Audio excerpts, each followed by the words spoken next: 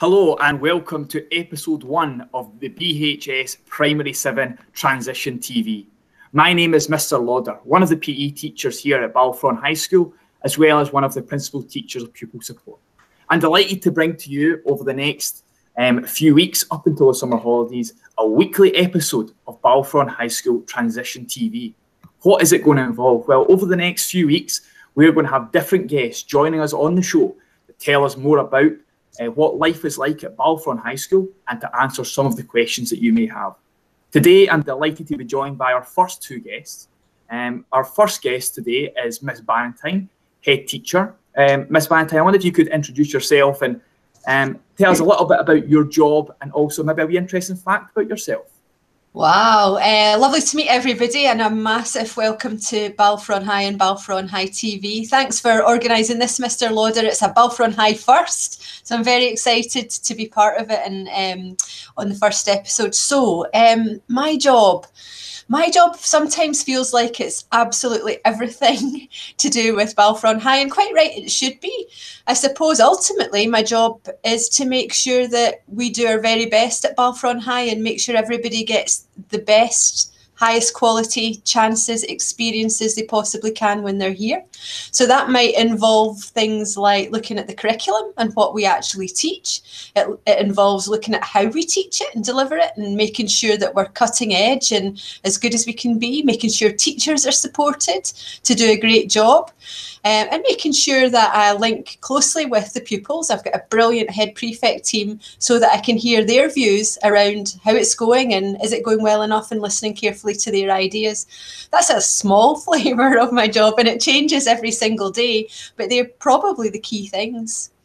You put me on the spot a wee bit here about a, an, an, an interesting fact about myself. Um, I suppose lockdown's been pretty good in some ways, some ways, in that it's allowed me to reconnect with things I wouldn't have otherwise had a chance. And I've, I've refound my passion for cycling. And those of you who are on Twitter might see the occasional photograph of areas of Glasgow where I go out on my bike when I get a chance, particularly when the sun is shining. I absolutely love that. But other than that, um, my passions, I suppose, I love to cook and I love to travel. So I've only been managed to tra- managing to travel on my bike so far, but I'm looking forward to when the restrictions um, end and I can get moving in the holidays again. Thank you very much, Ms. Ballantyne. Well, hopefully the weather improves and you can enjoy um, travelling around Scotland over the summer.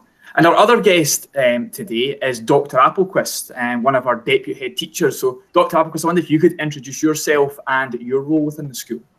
Hi, so huge welcome, P7s. Really looking forward to you all coming up and us getting to know you that little bit better this year.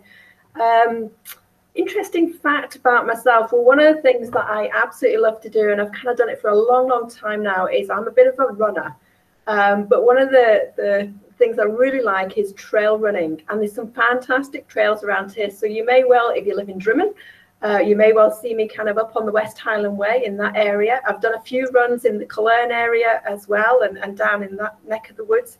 Uh, but one of the goals, big goals I've got this year is I've entered the Loch Ness Marathon. And this will be the first time I'll have ever done a marathon. So I'm quite excited about that.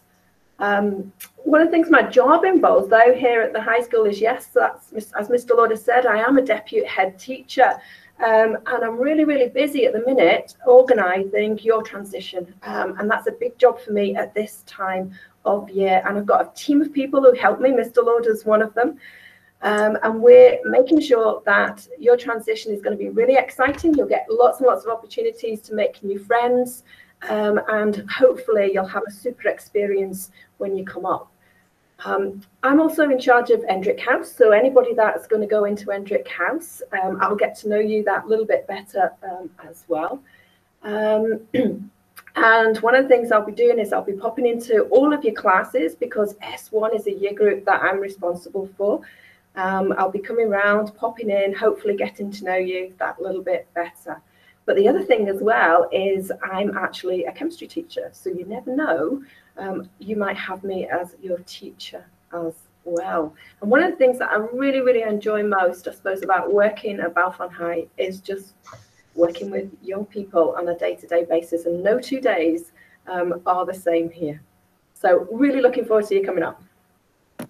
Thank you very much, Dr. Applequist. Um, so, Ms. Ballantyne, um, obviously the, uh, these 27 pupils are joining us uh, at Balfron High School for the first time. And what, what can they expect? What, would you say makes Balfron High School so special? And, and what is it that um, these young people are, are joining and becoming a part of?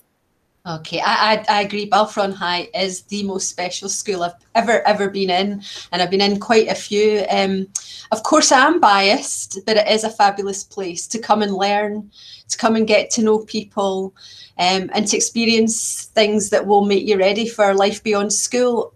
What makes Balfron different? The people, the people and the experiences that are available. We look to update our curriculum all of the time. So the formal stuff is really good quality and exactly what is needed to develop knowledge and skills that will get young people ready for whatever comes next, whether that's the world of work immediately, a college, university, and just becoming great people, to be honest. Um, but what, what makes Balfron special? You'll hear no doubt later in this TV thing that we've got lots and lots of extracurricular activities. And it's one of our big aims is to make sure that you guys find your thing. And we know that you're all different. So we take a great pride in listening to young people and offering a wide range. And just the other night at the parents' meeting, I heard Mr. Lauder himself say to a parent, look, if your child is looking for something that we don't do, let us know and we will find a way to access that.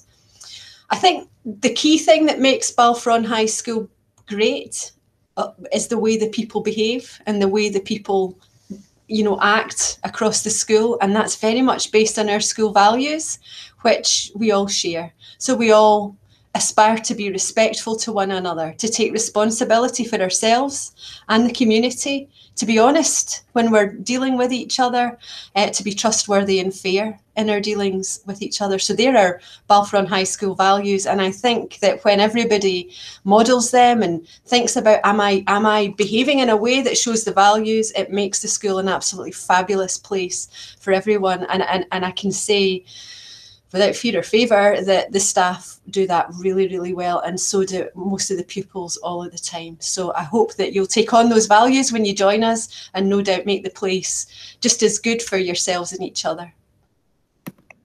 Thanks, Ms. Banton, and hopefully for some of our primary seven that maybe settles some of the nerves and just highlights how safe a, a place you're coming um, to join us here at Balfron. And as Ms. Banton says, we will help you find your thing.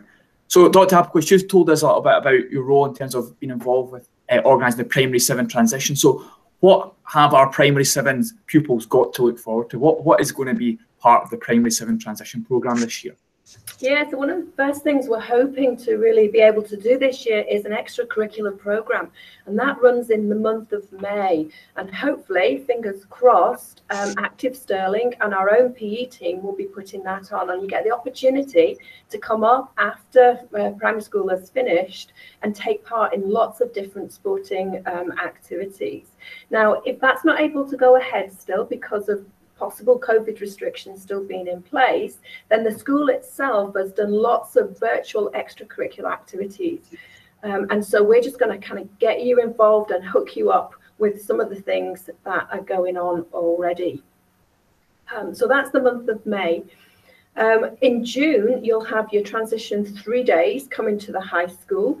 So the first day you'll be in your classes and you'll be following your August timetable and hopefully you'll get to experience lots and lots of different subject areas. So maybe science, maths, some social subjects um, and possibly do be in some areas where you just haven't had that experience before.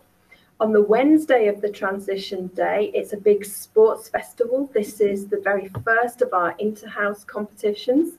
So you'll be in your houses, you'll be with your form classes. In the mornings, you get to have a go at different sports, and then in the afternoon, it's a competition. You'll come back to us on the Thursday, and it's another day of following uh, your timetable as well. Um, quite possibly, you'll be in different subjects again. Um, you'll come up on the school bus So you will experience being part of the, the school bus as well and, and the ride up to, to school. But there'll be lots and lots of people around on these days to kind of help you to make sure that you don't get lost, that you'll you'll be in the right places at the right time. Then you'll come back to us in August um, and it'll be full steam ahead with your full timetable. Um, and in September, on the third week in September, we've got very exciting days whereby each house takes a day and we go down to Auchengillan Activity Centre, which is literally just 10 minutes down the road from here. And you'll get a day to experience lots of different activities. There's archery, there's climbing, um, there is a, a, laser tag, and one of the all-time favourites is some raft building and getting out on on the water. Um, and so you'll be with your fun classes, you'll be with the other fun class in your house as well. You'll get to know your fun class leader that a little bit better, uh, people in your house, and you'll also get to know the pupil support team. So this is kind of how the transition is going to look over the next few months for you. Yeah, really, really exciting program uh, lined up. And what I would just say to the Primary Sevens is just keep an eye on the Transition Google Classroom. Uh, there'll be lots of information about all these different things um, coming up, and uh, we'll also talk more about them in some of our future episodes. So, as um, Dr. Applequist has mentioned, there's going to be lots of opportunities for you to meet with other pupils prior to starting in August. So, when you come up in August, you'll have already have a great idea of some of the other pupils in your classes. Um, moving back to Ms. Bantine, um, some of our pupils are feel our Princeton pupils are feeling a little bit anxious, which I think is understandable about coming up um, to high school and much bigger building, so many more pupils. What would your message be to some of those pupils? Hmm, I think First of all, it's important to recognise it would be perfectly normal, as you've alluded to, to feel that. You probably have a mixture of excitement and nervousness just thinking about it. So my my message would be take a big deep breath um, embrace the opportunities and the chances that are going to come your way and know that we'll be doing everything we can to help you ourselves, but also the senior pupils will have a really major role in that. So we'll have some new prefects who will be new six years um, who will be there to help you should you feel you're getting lost or unsure where to go or what to do. There will be an absolute army of support of people who are being, you know, responsible and wanting to make sure that you're having a great time and, and making sure that you're safe and able to do the best you can. So please know that we will do everything we can to make it as easy as possible for you. Thank you very much. Um, Dr. Dr. Because a common question that's, that's been coming up on our um, Primary 7 Google Classroom um, has been pupils asking about their new classes and when are they going to get to find out what house form class they're going to be in, who's going to be their form class leader. Um, are you able to give us a little bit more information as to when the pupils can maybe expect to find that out? Um, and when I know that they will be excited to find it out. So just um, to make them aware, please? Yeah, so you'll find out which classes you're actually going into in the first week in June. Um, and so you'll know um, prior to coming up to us when you meet your actual form class leader. So first week in June. And just to kind of give you a little bit of an idea of how I organise the classes, if you've already got a sibling, a brother or a sister that's at the school and they're in a particular house, then we do try where possible to put you in the same house um, as your sibling. Um, one of the things I do as well with the classes is I create six form classes. So there are two in Campsie House, two in Endrick House, and there'll be two in uh, Lomond House. Um, and so you'll go into one of these, and it's going to be about 25 to 27 young people in each of these form classes. Um, however, when you go to your subjects, you get mixed up again. So you get the golden opportunity to meet more people and you'll get an opportunity to meet other people from different houses. So say in a maths class, I will have somebody from Campsie, Endrick and also Lomond together in those classes. And then I have to create what's known as practical classes. So these are classes like science, um, and music. And in those classes, I can only have 20 pupils. And so you'll be with different people yet again. And we mix them up and mix everybody up. And this just gives you a real great opportunity to get to know new people, uh, people from different primary schools um, that you haven't met before. Um, and it just is a really good way of getting to, to know one another. Uh, and the fun classes themselves, what I try to do is get an equal mix of, of boys and girls um, in those as well um, and mix them up a bit. But I've got a team who help me to kind of put the classes together. And equally, I speak to your P7 teachers and I get lots of information from them as well. So please do not worry. See this as an opportunity whereby you can maybe start to meet more people and broaden your friendship group.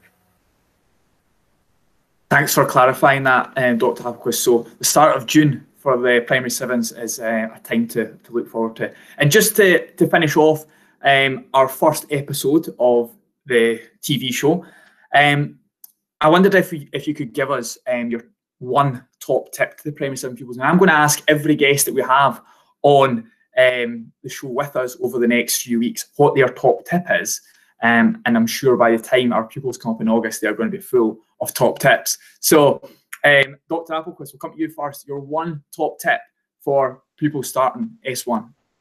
Okay, so my top tip will be when you join us in August, um, there will be lots of opportunities to get involved with some extracurricular activities or the school's inter-house program. So my advice to you is get involved in whatever takes your fancy um, and that will give you an opportunity to make lots of new friends. Good tip, good tip. Um, Miss Ballantyne? Oh, good one, Dr. Applequist. Um, I would say be yourself, um, do your best, I'm maybe going for more than one top tip, Mr. Lauder. Um, be kind to everyone around you. They're probably feeling much as you're feeling, and don't be afraid to reach out if you need a hand.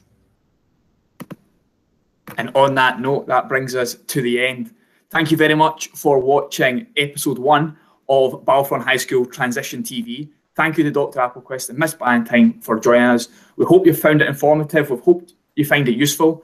Um, and please make sure you tune in next week for another episode when we'll catch up with two other members of staff. Have a good day, guys. Bye. Bye. Bye.